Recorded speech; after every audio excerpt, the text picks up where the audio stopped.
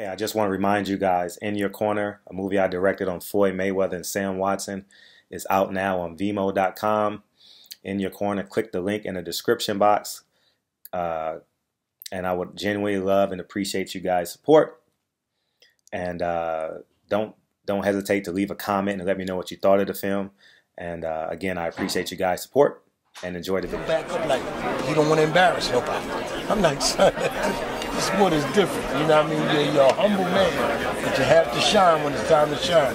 And he's learning that. He's starting to understand himself and realize just how good he is. And I think it's going to show in his fight.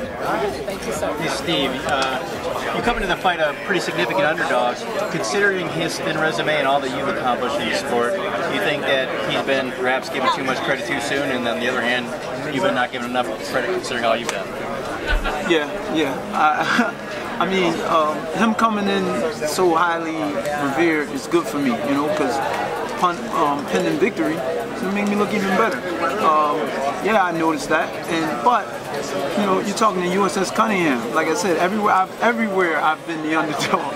Even with a world title, even as a two-time world champion, I was the underdog. Even in Pennsylvania, my own state, I was the underdog against Tomasz Adamek, and I got robbed.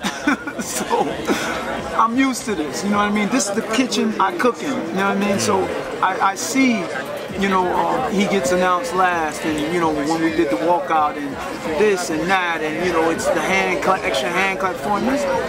So what? Again, he and I are gonna be the only ones in that ring Saturday. That's it.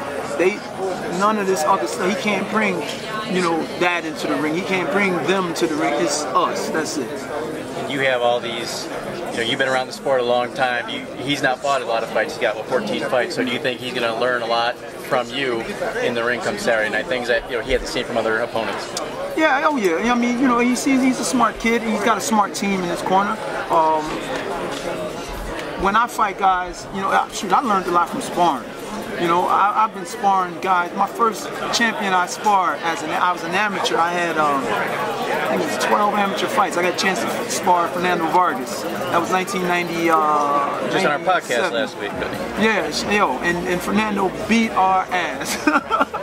it, was the, it was the Navy boxing team. He went from 156 up to the heavyweight and trashed us. And I learned from from that ass whooping. Every time we sparred with him, I learned. I even actually used a couple moves that he did to us and added that to the repertoire. So, but I sparred with this guy, Larry Donald, Oliver McCall, Vladimir, you know, this guy. I, I mean, man, you go down the list, I, I sparred him, and that's how you learn. So, um, that's how I learned. So maybe Tabiti like that, you know, after our fight, he learns, he takes from what I did, um, you know, and, and grows from it. But some guys do, some don't. It's not history, and I tell all my athletes, every time you step in the ring, competitive, you're taking one or two things.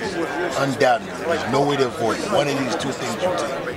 You either take punishment or you take experience. Now you're going to take one. You try to choose which one you want. Nobody wants one. So you try to learn from it. But if you didn't learn from it, now you got a bloody nose and your eyelids. You took punishment. And fighters are just like fighters are just like a, a, a milk, carton of milk. They all got expiration. Every fighter got to stop at some time. It's over for all of them at some time. Got a number of fights in each and every fighter that's living, and nobody knows the number. So that's why you got to be careful with the career, and that's why he's got to take care of yourself the way he does. Tremendous talent, man. Underappreciated. You know what I mean? Underappreciated. He doesn't get the big fanfare, but I think he's on the start now where more people going to know about him after this side. And Tabiti is a talent, just hasn't been tested. You know what I mean? But he's, he looks like the kid with all the goods. Strength, power, speed. He looks like all those things. Great corner, great. I mean, just, this is a test for him. Speaking of being underappreciated, uh, do you think you and your run with Bernard Hopkins will be underappreciated in terms of historical perspective? Boxers and trainers, there's almost two different worlds in, combined. You know, Bernard is going to be acknowledged. There's a title that he had I thought was going to stand forever. Him having the most title defenses in middleweight. Because the way kids jump weight now, and everybody's making weight, you can't hold the weights on. So I never thought it would last long. But here's Triple G right on top of it. That's why we box the matches, man. You know what I mean? That's why I say this This, this guy know the history. Philadelphia is famous for bringing old guys to, to the fight for the young boys to pick on. But they're also famous for, for turning that back too. And that's what we plan on doing Saturday. Let me ask you, since since I uh, have an admiration of your historical perspective and your social consciousness, uh, what's your take on Colin Kaepernick? Who's Colin Kaepernick? If you can chime in on it too if you feel like it. What's your take on Colin Kaepernick? I can't say I always think Colin Kaepernick. The football player. Quarterback. I'm seeing the same I'm about to say. I just football. Yeah, yeah, yeah, yeah. Well, what do you mean my take on it? They say that um, he uh, can't get a job because he's blackballed because he took the knee for the national anthem. Yeah. Oh, he can't get a job. The kid can play ball. Uh-huh. Yeah, yeah. Listen, man. You know, we, the media is a great tool for for, for, for, for entertaining and, and, and getting that information out there. This social media is getting to the point, we so deep in the guys' lives, we talking about, you know, hey, I'm not going to, I don't, we ain't going to put this guy in the Hall of Fame because all he was was Hanes instead of Fruit of the Looms. Yo, what does that to do whether or not this guy's a talent? We got to stay with what they do. We're only here for what they do. I can't be concerned about where they live and, and, and, and, and who they pray to. That's not our business, man. Can the guy still run the ball? Can the guy still dunk the ball? Can the guy still throw the football? So that's all that matters. Mean, he took his knee and for his beliefs, man, that, that when I was a young boy, my grandfather called that character. People are telling you they disagree with you, but you believe this is and you're not hurting nobody. Called that character when I was a kid. I mean, I don't know what he believed in. I don't know. I, I saw the thing with the taking the knee thing and the national anthem and things. That's what the man believes. Yeah, I mean, can he still play ball? I'm only hiring him to, to, to play this game. Is that a bad? Is that a bad role model for the kids? Come on, man. Kids, their parents is their role model, man. They go play ball. So I, hope he finds a job. I want to see every man work. I mean, I, have been unemployed before. I've been hungry before. I don't want to see. I don't wish that on nobody. You know what I mean? So, so I hope the man finds a job. Man. Let the man do his job. You want to chime in on that? Yeah, cool. Yeah. Um, I mean, I first it's like um, with Colin, he, he's been kneeling, you know, he's been kneeling before the media put the cameras on him, you know, and then for some reason they decide to focus on him. Now we make a story. He's been doing it for about a year, I, I believe I heard. So now it's oh, this is an issue now, and it's like, like he was saying about the media, whatever the media wants to put out there in your face and make you get emotional about, they can do it. The television is very powerful. It's one of the most powerful things in the world, you know, because from the TV we, we learn what's good, what's bad, what not to do. You know, a lot of us learn sex, how to deal with women, money, all this stuff. So um, they know that, so they put this stuff out there. We had this whole big race issue now. Um, they're acting like this stuff is new. This race issue wasn't new. It's not new to us, to some of us, you know, the, the blacks in America or the Latinos um, or, or, even Asians, you know, it's not new, but it's it's the hot topic now. Trump, you know, this and that, and say this, not neo-Nazis. I, I, I scrolled down my own timeline last week, and I made the post, I'm like, damn, all I'm seeing is neo-Nazi Confederate flags, and like, what the hell's really going on? You know what I mean? What are they keeping us um, away from? You know, what are they really doing? Because this is not new news. But with Colin Kaepernick, I, I, I applaud what he's doing. You know, I, I totally applaud what he's doing. Um, me personally, would I would I do it like that? No, not like that. That's his protest. I'll do my own. You know what I'm saying? Um, but I'll kneel too in support um, secondly, what he did with his protest is brought to my attention and many other um, African Americans, if you want to call us that, you know, or Black Americans. Yeah. you know, I don't like to go by that or Black, uh-huh. but I'm an American. But you know, the Black Americans, if you pay attention to the second stanza in the national anthem, Mean, it was written by a slave master, and it's basically talking about killing the slaves who are trying to get away. And I mean, I think that's that that should be changed. I think the anthem should be changed. You know, me personally, um, they shouldn't say. But they're going to this is America. We know that we have to fight for anything that we want to get done to, to help us or appease us, and we've done it. We fought. We still got a long way to go, but um, this is America, man. The foundation of America is slavery, race, racial issues, um, death, theft. I mean, that's what it is. So in order to change the foundation, we got to really, we all got to dig down and, and, get the business. It can't just be black people mad. It's got to be blacks, even whites, and, and, Latinos. We're all mad at this, this issue because we all have that one common enemy, and that's the that's the elite, the system. The system is digging us all out. Period. What's been your key to longevity? Obviously, I see you're probably well under seven percent body fat, and look at look at your arms. But what's been your key to success in the longevity?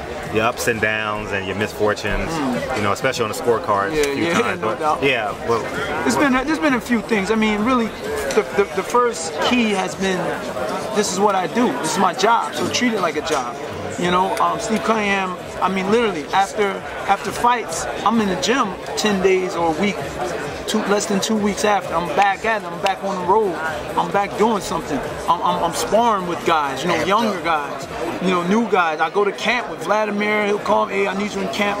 I went to camp with Fury after our fight. You know, I like to, I like, you know what I mean? Listen, you you want to pay me to do what I'm going to be doing anyway? I'm, I'm out, and I get to travel, get to go to Austria, I get to go to Belgium. I'm out, you know. So and and learn. Um, secondly, is still hungry. You see two-time world champion, but you you you know Steve Cunningham's not um, rolling in the dough. You know I I haven't had a big payday like like six seven hundred thousand dollar payday. You know I'm sure the way we've been living, I can take a seven hundred thousand dollar payday and retire and and build off of that seven hundred thousand. I know exactly what to do. We we we we invested in some real estate this and that. So man, I can get at least seven different homes in the hood and make money off of that with seven hundred thousand dollars, clean up night. So I guess that's why I haven't gotten a payday that big because I'd have been gone. who do you think's gonna win the World Series of boxing tournament? Um, who do I think? I don't. You know what, man? You throw it up in the air, man. Because I mean, you got Gassiev, Usyk, um, I mean, lethargic. You can't sleep on lethargic. You know, Huck. Huck, I think Huck is good, but I, I think I think he's fighting Usyk, and I think Usyk's gonna, you know, get him. You know, but I mean, you got some. It's a throw up, man. I tell you this, I'm gonna be watching. You know, I'm gonna be watching. Wish I could have been in it.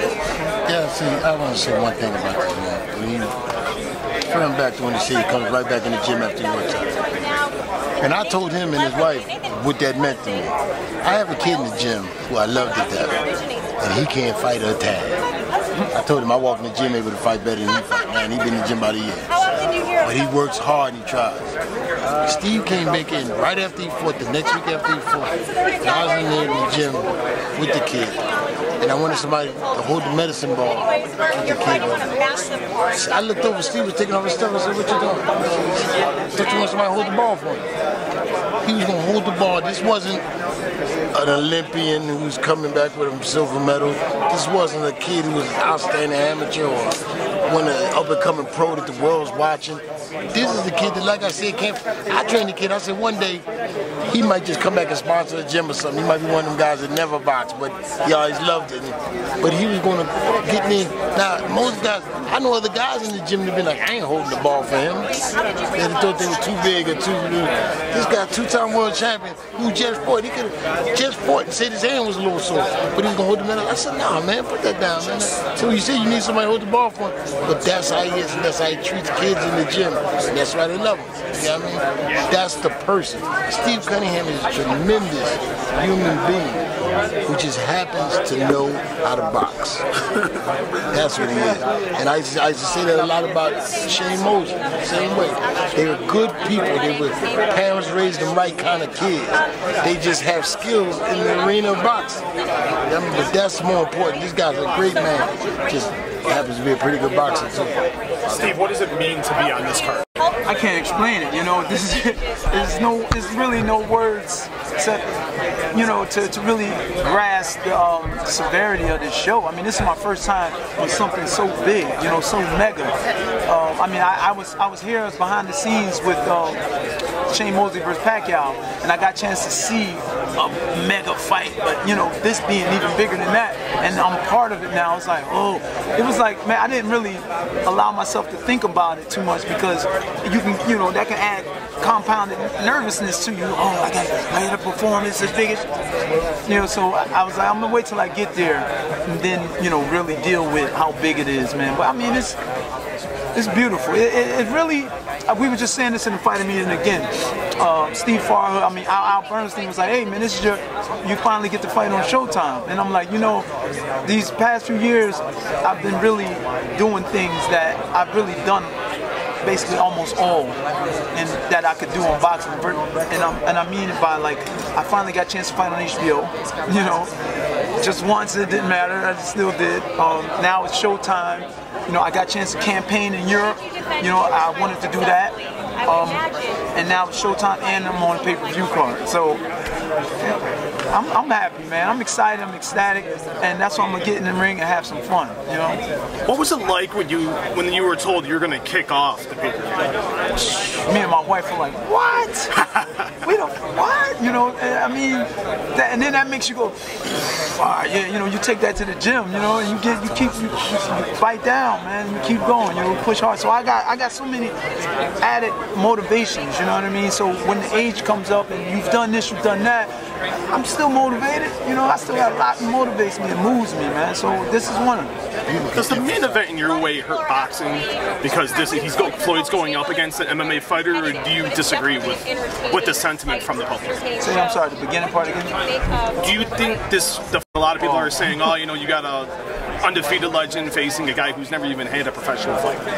Nah, I don't think because I was posed this question uh, on on Facebook, and I'm very. Those of you know me, I'm I'm pretty vocal on Facebook, and um, I, I let them know like, listen, I said this this fight cannot hurt boxing, and I'm, I'm gonna tell you why. Because it's opening doors for other fighters to fight. You know, the whole we had a fight the other day, Tuesday. That's fighters making money. That's fighters getting an opportunity to move up. You know, that's fighters getting an opportunity to show the world what they can do. And on this card. So just because Floyd is fighting Mayweather, you know, I'm about to make some money and and hopefully get a win. You know. I mean, I, I catch it here and there. I watched the Holly Holmes, um, uh, yeah, Ronda Rousey fight, no doubt. We bought that, but um, you know, I, anybody, you know, if, if the fight, if the fight's to be made, let's make it. You know, I do it. I mean, it's it's good for it's good for both sports. You know. No, back to what you had said earlier about what if he did what if Floyd did lose? Would that hurt his legacy at all if he if he loses or is it just, you know yeah, it happened the legacy, man. Gotta put a big boot hole in the legacy, you know? Um, the legacy is TBE, you know? Best ever. This dude beats him, oh no. Floyd, man, listen, I think Floyd get laughed out of off the planet, you know, but of course, it'll be a rematch. But I mean, listen, Floyd's not that guy to take anybody light. His style nullifies styles. Even though McGregor's going to be awkward in the beginning, because I've sparred MMA guys before, and you know they throw different combos. Like we're used to one, two, three, block, block, slip. They're throwing hook, two, uppercut, and you, boop, boop, oh. But after a while, after a round or two, you know, you got it. You know, you got the rhythm. That's what. That's how Floyd beats everybody. You see, you, you notice after about three or four rounds he's got these in top upper echelon fighters. He's got them down to a science. He's already got their rhythm. Game over. So same thing for McGregor. It might happen even sooner. You know. See, people put the issue of Floyd legacy being tarnished. That's because Floyd being revered for so many years, and so many years. I used to say that's why they dogged Adrian Broner so bad when he lost, because they couldn't get Floyd. So we got the closest thing to it. We gonna drag him through the mud. Floyd talked and get all the brass talking. Like he even said, ironically, they used to have a problem with it. They don't seem to have a problem with McGregor doing it. It's okay that McGregor is showing his behind and cutting up and doing it. Nobody's really saying nothing. It's entertainment. Everybody, wow, it's funny. But I remember when Floyd was doing these things a couple years ago, it was bad mouthing Floyd. He's arrogant. He's, he's, so they're still waiting to see him get his behind. And but the shit that taught us his career called Ali the greatest. He lost to a man with eight fights. I don't think tarnished Ali's legacy. I don't think he's to lose the fight. But what I'm saying is, a man has already knocked down 49 joints. You, you shoot 49 baskets. I got a problem with you missing one. I, I, don't, I don't got a problem. But they're critiquing him because of the history of Floyd. But Floyd's a tremendous talent, man. Like I said, Steve Cunningham, when you say world champion, and I had an argument with another world champion about this. I had somebody question whether he was a world champion. He wasn't world champion like the other world champion. I said, man, this guy beat Russians in Russia. This guy beat Poland in Poland, Germans in Germany. That's world champion. He took this tour, he took this boxing tour around the world. Fought everybody, like he said, he was underdog everywhere. Eating different food, time zones, all that, and still performing. This might be one of the realest world champions, and y'all can check the records faster than me. I can't even count how many undefeated fighters he's faced. This ain't even a new walk. He might have fought as many under. I know he fought more than half. The kid he's fighting tonight, the kid he's fighting this weekend, doesn't have half of his bouts. For Steve would have been undefeated fight. He got like 14, 15 fights. I know Steve fought more than seven, eight undefeated. That's, that's unheard of in this man. He's an ambassador for our sport. Outstanding family. Said, you can't find a woman out there saying that, that, that, that she smoked weed with him. You can't find.